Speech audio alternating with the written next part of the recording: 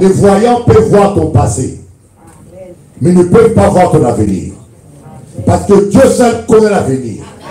Mais quand ils voient, quand ils te prédisent l'avenir, ce n'est pas une prédiction, c'est une malédiction. Il te dit, ah, ton mari mourra par accident. Mais c'est une malédiction qu'il a lancée contre toi. Et si toi tu y crois, tu actives la malédiction de ta vie. Et le jour où ton mari ferait un accident, tu diras, le voyant l'avait dit, l'avait vu. Il l'a pas vu. Il a, il t'avait maudit. Parce que la Bible dit, Dieu seul connaît l'avenir. Dieu seul prédit l'avenir. Le diable ne connaît pas l'avenir.